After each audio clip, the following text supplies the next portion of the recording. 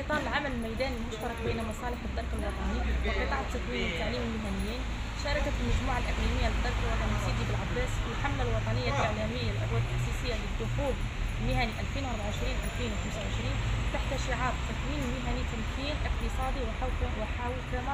وذلك أيام 29 30 سبتمبر و1 أكتوبر من السنة الجارية بالتنسيق مع مختلف معاهد ومراكز التكوين المهني للولاية والتي نظمت على مستوى النقاط الثابتة ونقاط المراقبة والمرافق العامة للولاية. الهدف من الحملة هو توجيه الشباب للتكوين واكتساب خبرات مهنية للولوج إلى عالم الشغل وكذا تشجيعا على الانخراط في صفوف الدرك الوطني. في الأخير نذكر بالرقم الأخضر 1555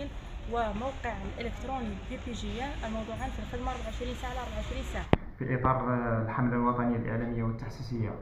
اللي تقوم بها قيادة الدرك الوطني لولاية سيدي العباس مع قطاع التكوين والتعليم للمهنيين والتي تزامنت مع أيام الانتقاء والتوجيه لدورة أكتوبر آه، 2024 والتي كان آه، لعناصر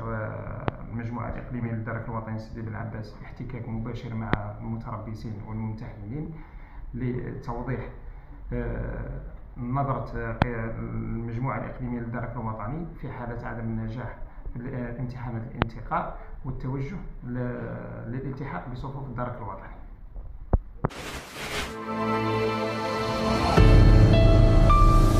وطنيا نيوز